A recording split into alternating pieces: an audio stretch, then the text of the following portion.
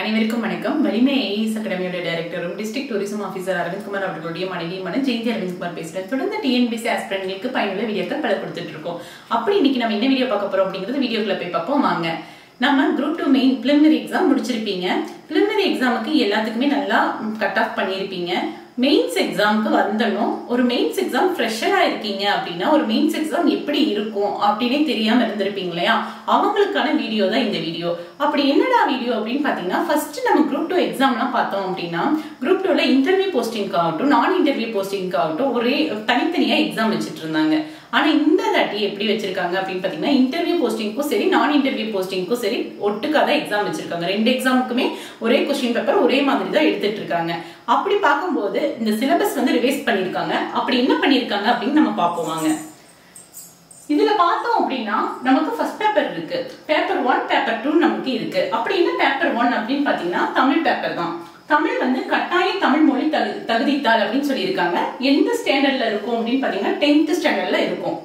அப்ப அதுல வந்து நமக்கு த்ரீ ஹவர்ஸ் நடக்குது ஹண்ட்ரட் மார்க்குக்கு ஃபார்ட்டி மார்க் நம்ம எடுத்தா மட்டும்தான் நம்மளோட பேப்பர் வந்து நம்மளுக்கு ரெண்டாவது பேப்பர் திருத்துவாங்க. இதுல நம்ம ஃபார்ட்டி மார்க் எடுக்கல அப்படின்னா செகண்ட் பேப்பர் திருத்த மாட்டாங்க. அப்படி நமக்கு என்ன நம்ம எல்லாம் கேட்கறாங்க அப்படின்னு பாத்தீங்கன்னா தமிழில் இருந்து ஆங்கிலத்துக்கு மொழிபெயர்த்தல் ஆங்கிலத்திலிருந்து தமிழுக்கு மொழிபெயர்த்தல்.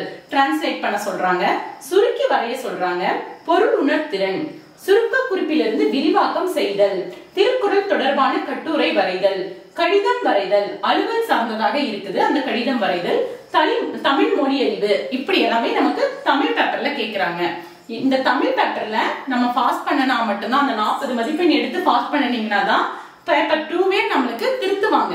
இதுல அதே நேரம் நம்ம நூறுக்கு தொண்ணூறு மதிப்பெண் எடுத்துக்கிட்டா சேர்த்துக்கு வாங்கலாம் மேம் அப்படின்னு கேட்டா அதுவும் கிடையாது. நமக்கு நூறு மதிப்பெண்ணுக்கு நாற்பது மதிப்பெண் எடுத்தீங்கன்னாவே போதும் செகண்ட் பேப்பருக்கு திருத்துறதுக்கு.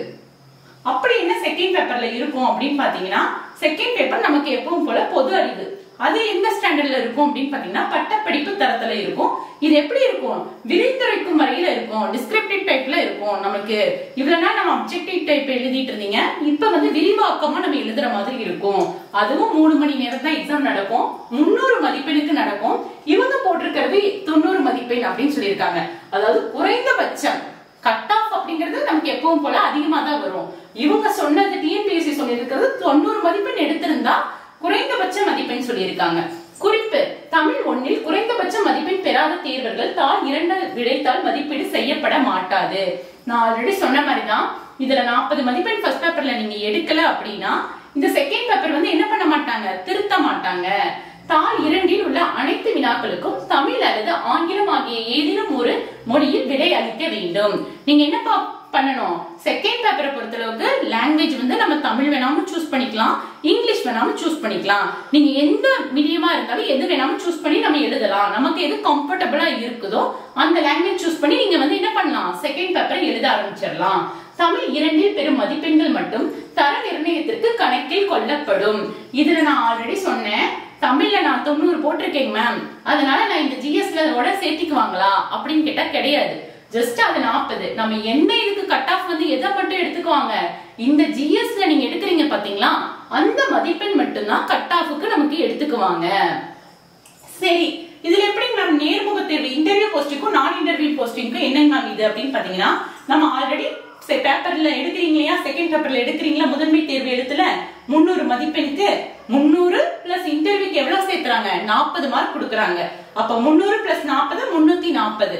அந்த முன்னூத்தி நாற்பதுல அவங்க சொல்ற குறைந்தபட்ச மதிப்பெண் அப்படின்னு பார்த்தா நூத்தி ரெண்டு நம்ம எப்பவும் போல கட் ஆஃப் வந்து எவ்வளவு மார்க் அப்போதைக்கு கட் ஆஃப் வருதோ அதுதான் நமக்கு.